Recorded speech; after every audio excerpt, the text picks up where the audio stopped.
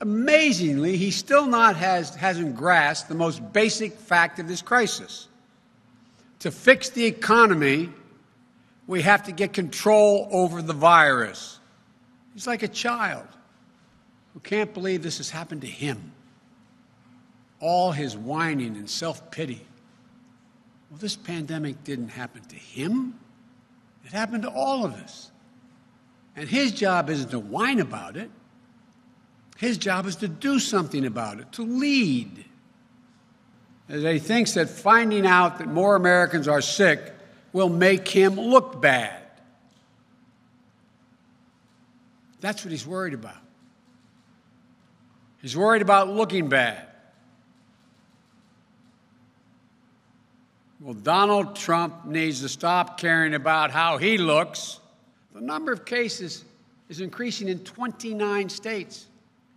We're going to be dealing with for this for a long time. Trump can't wish it away. He can't bend it to meet his political wishes. There are no miracles coming.